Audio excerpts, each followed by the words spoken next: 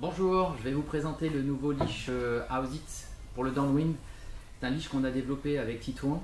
C'est un leash qui fait 6 pieds, 8 mm d'épaisseur.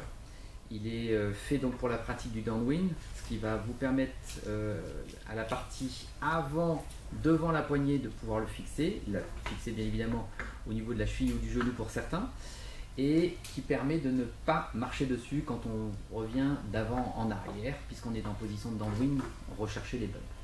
A l'inverse du 9 pieds que nous avons, qui est derrière nous, le coil classique, qui lui s'attache à l'arrière de la planche, qui correspond plus souvent à la pratique de la beach race.